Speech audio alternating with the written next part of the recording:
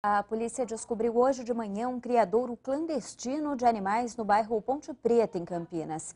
Mais de 30 cães estavam sendo mantidos em condições precárias. O proprietário vai responder por maus tratos. A polícia descobriu o espaço depois de uma denúncia anônima. Na casa que fica no bairro Ponte Preta, funciona um criadouro clandestino de animais. Vizinhos contaram à polícia que a criação e venda dos cachorros já acontecia no local há pelo menos 10 anos. Os policiais visitaram o criadouro junto com representantes da vigilância sanitária. A casa não tinha nenhuma condição de higiene.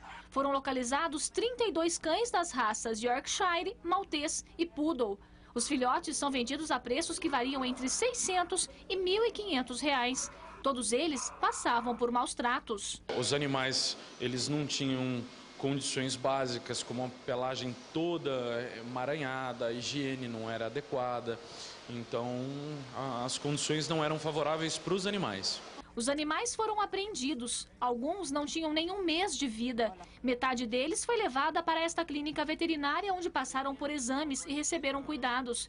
Os outros passaram primeiro pela Delegacia de Proteção aos Animais para receberem uma coleira de identificação e serem cadastrados. Futuramente, eles podem ser encaminhados para a adoção. Vão ter todos os cuidados necessários esses animais agora, mas sob a proteção é, da, do, do, da Delegacia de Proteção aos Animais e os médicos que estão prestando ajuda. O dono do criadouro prestou depoimento à polícia. Ele vai responder por maus tratos. Eles vão responder criminalmente pelo artigo 32 da Lei 9.605, que é, 5, que é maus trato contra os animais, fora a questão administrativa. Além dos animais mal cuidados, o espaço não tinha alvará de funcionamento.